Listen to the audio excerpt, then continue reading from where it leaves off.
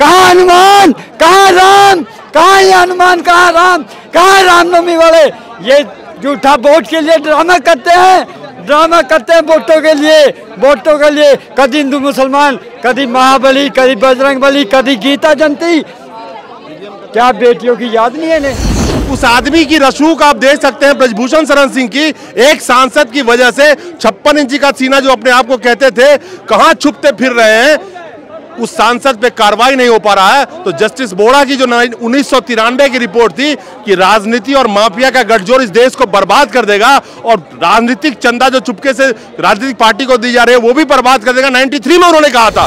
इतना रसूखदार है, इतना डरती है सरकार एक एक ऐसे लोग से जिसमें इतने केस हो तो राजनीति क्या माफियाओं का गुलाम बन के रह गई है? सर, पास्को तो एक आपने बताया, पास्को।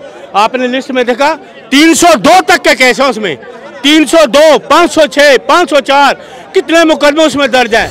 एक सांसद जो पूरे देश में आज सरकार के खिलाफ महिलाओं का उबाल मचा हुआ है लेकिन मौजूदा वक्त में जब मोदी सरकार मोदी जी कहते हैं छप्पन इंची एक सांसद के से इतना डर गए मोदी जी जिसको हटा नहीं पा रहे योगी बाबा कहा योगी बाबा डरे कहाँ है उसका बुलडोजर योगी बाबा का? योगी बाबा का बुलडोजर कहाँ है? जो उनका अपराधियों को खत्म कर दूँगा। योगी बाबा तो मिट्टी, मिट्टी में मिला दूँगा। वो यूपी का ही सांसद है छह बार का सांसद। कहाँ है योगी बाबा? ये पहलवान थे अपनी अकलमंदी से बचे। ये पूरी तरह से साजिश की गई है। आखिर सरकार को हर आवाज़ से डर क्यों लगता है? इतनी डरपोक है ये सरकार। सरकार पूरी तरह से डर गई है। पूरा देश हिल गया है। रात की इस घटना से ईवीएम मशीन हटाओ, बेटी बचाओ, ये देश का दुर्भाग्य है। इलेक्शन कमीशन, सुनो, बहरे मत बनो, आँखों पे पट्टी मत बनो, ईवीएम का सफाया करो। बैलेट पेपर पे चुनाव कराओ, बैलेट पेपर पे चुनाव। ब्रिजभूषण को गिरफ़्तार करना चाहिए था। यहाँ पुलिस को नहीं आना चाहिए था। ये तो अपने आत्म सम्मान की लड़ाई के लिए बैठी हैं। ये बहुत बड़ा जन सैलाब यहाँ अब होगा किसानों से बड़ा होगा क्योंकि ये बेटियों के आत्म सम्मान की बात है। कोई बर्दाश्त करने वाला नहीं इस बात गुनहगार को गिरफ़्तार करना चाहिए था। जिन्होंने कंप्लेंट कराई आप उनके यहाँ आ गए। कितने शर्म की बात है ये दिल्ली यूनिवर्सिटी में तो कल जो प्रोटेस्ट होना था वहाँ पे लड़कियों के लड़की के पैर टूट गए हैं वहाँ भी लड़कियों को मारा गया। दोस्तों नमस्कार। किसान आंदोलन की वो रात याद है आपको जिस रात गाजीपुर बॉर्डर पे राकेश टिकैत को गिरफ़्तार करने के लिए, उस आंदोलन को खत्म करने के लिए क्या क्या षड्यंत्र रचे गए थे और किस तरह से गोदी मीडिया उस रात मज़े ले रही थी, किस तरह से वो सोच रही थी कि आज ये किसानों का धरना खत्म हो जाएगा और किस तरह से अगली सुबह गाजीपुर बॉर्डर पे पूरे किसानों का सैलाब उमड़ पड़ा था। कुछ इसी तरह की, कुछ इसी तरह की घटनाएँ कल रात को महिलाओं के साथ हुई और जिस तरह से महिला महिलाओं के साथ हाथापाई हुई, पुलिस के साथ झड़प हुई उनकी और मामला था कि जो रात में बारिश हुई थी दिन में, उसके लिए चारपाई उनके पास पहुंचाई जा रही थी, जिसका विरोध हो रहा था, जैसे सुनने में आया। लेकिन जब उसकी वीडियो वायरल हुई है तो आप देखेंगे कि किस तरह से आज जंतर मंतर पे उनके महिला पहलवानों के समर्थन में ये सैलाब उमड़ पड़ा है, और ये सैलाब ये फिर उसी रात की याद दिलाता है, जिस तरह से बॉर्डर पे, गाजीपुर बॉर्डर पे किसान आंदोलन को खत्म करने की एक साजिश रची गई थी, और किस तरह से राकेश टिकैत उस आंदोलन को बकायदा बरकरार रख पाए थे। और जिस तरह से लोग यहाँ पे आज इकट्ठे हुए हैं हालाँकि आपको ये बता दूँ कि बहुत जगह पे बैरिकेटिंग की हुई है लोगों को आने नहीं दिया जा रहा उसके बावजूद क्या लग रहा है आपको कि किस तरह से जिस तरह से उस रात को किसान आंदोलन खत्म करने की साजिश रची गई थी और टिकैत साहब को गिरफ़्तार करने की कोशिश की गई थी गाजीपुर बॉर्डर की वो बात अगले दिन पूरी जनसलाब पहुँच गई थी किसान आंदोलन में किसानों का ट्रैक्टर वगैरह लेके। कुछ ऐसा ही नज़ारा जंतर मंतर पे नहीं लग रहा कि रात को महिलाओं के साथ हाथापाई धक्का मुक्की जो भी हुई पुलिस के साथ में, उसके बाद यहाँ पे जन सैलाब उमर पड़ी है। और दूसरी चीज़ कि जिस तरह से बार बार किसी आवाज़ को दबाने की कोशिश की जाती है, अब जनता के सामने तो पूरा खुला खेल है ये। देखिए, ऐसा है, धरती हिल गई। धरती जो है ना, हिल गई। आसमान रोने लगा।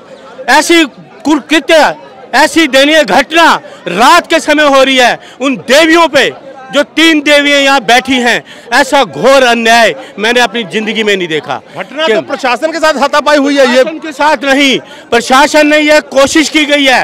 इन पे अत्याचार करने की कोशिश की गई रात को लेकिन ये पहलवान थे अपनी अकलमंदी से बचे। ये पूरी तरह से साजिश की गई है। आखिर सरकार को हर आवाज़ से डर क्यों लगता है? इतनी डरपोक है ये सरकार। सरकार पूरी तरह से डर गई है। पूरा देश हिल गया है रात की इस घटना से। वो आदमी गिरफ़्तार क्यों नहीं किया गया? उस आदमी को रात को गिरफ़्तार करना चाहिए था, यहाँ नहीं आना चाहिए था। उस आदमी के घर पे जाके दबिश देनी चाहिए था उसको गिरफ़्तार करना चाहिए था, ब्रिजभूषण को गिरफ़्तार करना चाहिए था। यहाँ पुलिस को नहीं आना चाहिए था। ये तो अपने आत्मसम्मान की लड़ाई के लिए बैठी हैं, उसको गिरफ्तारी करने के लिए बैठी, गिरफ़्तार करने के लिए। आपने कहा कि छप्पन इंच का छाती वो अपने आप को कहते हैं बहुत बड़े। ईडी सीबीआई पुलिस, प्रशासन, सब जेब में, और फिर भी जनता की आवाज़ से भी इतना डर क्यों डरते क्यों है देखिए, जनता भगवान है। जनता भगवान है। अब जनता जागृत हो चुकी है। पूरे देश में हाहाकार मच चुका है। पूरे किसान जो भी नेत जो है लोग जितने भी जातियों के लोग हैं सब चल चुके हैं अपने घरों से निकल चुके हैं। ये बहुत बड़ा जन सैलाब यहाँ अब होगा किसानों से बड़ा होगा क्योंकि ये बेटियों के आत्मसम्मान की बात है। कोई बर्दाश्त करने वाला नहीं इस बात को। 1993 में जस्टिस वोरा ने एक रिपोर्ट दी थी कि किस तरह से राजनीति और माफिया का गठजोड़ चल रहा है। उन्होंने कहा था कि इस देश को बर्बाद कर देगी ये राजनीति में राजनीतिक और माफियाओं का गठजोड़। वही गठजोड़ आज खुले आँखों से जनता देख रही है कि जिस पे अड़तीस अड़तीस मुकदमे जो लिस्ट के नाम से जो लिखित है उसका ज़िक्र है। पता नहीं कितने मुकदमे और हो सकते थे। आज उन माफियाओं के साथ सरकार खड़ी नज़र नहीं आ रही है। तो वो रिपोर्ट सही थी ना? बिल्कुल रिपोर्ट ठीक थी वो। माफियों के साथ है सरकार। मैं आप एक नाम और जोड़ना चाहता हूँ। अधोगपति भी इनके साथ है। माफिया मीडिया माफिया गोदी मीडिया इनके साथ अधोगपति भी हैं जो इनके पीछे हैं, बदनाम करने पे लगे हुए हैं। लेकिन ये देख लिए ये देश की बात है। ये देश का गौरव यहाँ बैठा हुआ है। पूरे देश के गौरव की बेटियाँ यहाँ बैठी हैं। अपने आत्मसम्मान के लिए, देश के आत्मसम्मान के लिए यहाँ बैठी हैं। हम झुकने नहीं देंगे। चाहे कुछ भी हो, उस शख्स को रात को इनको, उनको गिरफ़्तार करना चाहिए था। गुनहगार को गिरफ़्तार करना चाहिए था। जिन्होंने कंप्लेंट कराई, आप उनके यहाँ आ गए। कितने शर्म की बात है ये दिल्ली यूनिवर्सिटी में तो कल जो प्रोटेस्ट होना था वहाँ पे लड़कियों के लड़की के पैर टूट गए हैं मैंने वहाँ भी लड़कियों को मारा गया। लड़कियों को मारा गया यूनिवर्सिटी में। ये इससे बड़ा और आप क्या कहेंगे? इससे बड़ा और गुनहगार या गुना क्या कहेंगे? इससे बड़ा गुनाह कोई सरकार नहीं है। सरा सरकार पूरी तरह से गुनहगार है। वो ऐसी गंदी सरकार हमने सत्तर सालों में नहीं देखी। इतनी गंदी सरकार हमने सत्तर सालों में नहीं देखी, सर। लेकिन एक बात बताओ कि एक ब्रिजभूषण सिंह जितने इतने केस हो टाटा का केस हो, चाहे दाऊद के साथ उसके संबंध का बातें हो, जो निकल के आई थी पॉस्को एक्ट के तहत उसका जो एफआईआर हुआ है कितना रसूखदार है इतना डरती है सरकार एक एक ऐसे लोग से जिसमें इतने केस हो तो राजनीति क्या माफियाओं का गुलाम बन के रह गई है? सर पास्को तो एक आपने बताया पास्को। आपने लिस्ट में देखा 302 तक के केस हैं उसमें। 302 506 504 कितने मुकदमे उसमें दर्ज हैं? 507 हत्या करने की कोशिश 302 हत्या के ऐसी ऐसी संगीन दहराए हैं और ये खुलेआम घूम रहा व्यक्ति। वे कहाँ से आए हैं आप। पानीपत से एक सांसद जो पूरे देश में आज सरकार के खिलाफ महिलाओं का उबाल मचा हुआ है लेकिन मौजूदा वक्त में जब मोदी सरकार मोदी जी कहते हैं छप्पन इंची एक सांसद के से इतना डर गए मोदी जी जिसको हटा नहीं पा रहे वो योगी बाबा कहाँ? योगी बाबा डरे है। कहाँ है उसका बुलडोजर योगी बाबा का? योगी बाबा का बुलडोजर कहाँ है? जो उनका अपराधियों को खत्म कर दूँगा। योगी बाबा तो मिट्टी, में मिला दूँगा। वो यूपी का ही सांसद है छह बार का सांसद। कहाँ है योगी बाबा? कहाँ अमित शाह? कहाँ मोदी जी? कहाँ कहाँ है? उनका हमारे साथ एक भी भ्रष्टाचारी नहीं? कहाँ पर आए ये भ्रष्टाचारी इतने मुकदमे? जो आन शान बेटी, जो खून पसीना बहा के मजदूर के घर से चलते आज रोड पे बारह दिन से, कोई सुनने वाला है? कहाँ हनुमान? कहाँ राम? कहाँ ये हनुमान? कहाँ राम? कहाँ रामनवमी वाले? ये झूठा वोट के लिए ड्रामा करते हैं। ड्रामा करते हैं वोटों के लिए वोटों के लिए। कभी हिंदू मुसलमान कभी महाबली कभी बजरंग बली कभी गीता जयंती। क्या बेटियों की याद नहीं है इन्हें? पानीपत से नारा दिया था चौदह 2014 को मोदी जी ने बेटी पढ़ाओ बेटी बचाओ। कर्नाटक में तो जय हनुमान की नारा लगा रहे हैं वो। और हनुमान जी वो थे जो माता सीता के लिए पता नहीं क्या क्या क्या उन्होंने राम के लिए। जय हनुमान की नारा कर्नाटक में लगा रहे हैं। देखिए ये देखिए ये एक है गिरगट होती है गिरगट। गिरगट रंग बदलती है कई तरह के रंग बदलती है। ये सरकार गिरगट की तरह है। बेटी पढ़ाओ बेटी बचाओ का नारा ये बंद कर देना चाहिए, नहीं लगाना चाहिए।